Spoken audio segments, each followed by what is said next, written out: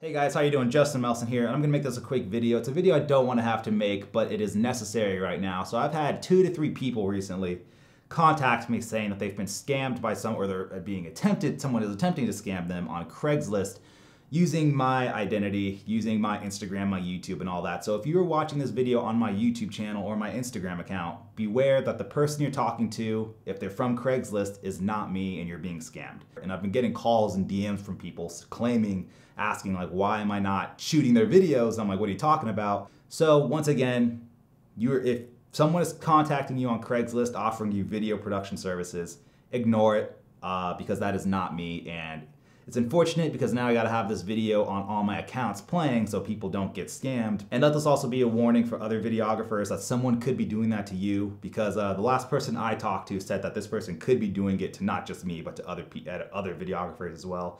I don't know, I'm figuring out what to do, but um, anyways, just wanted to let you guys know.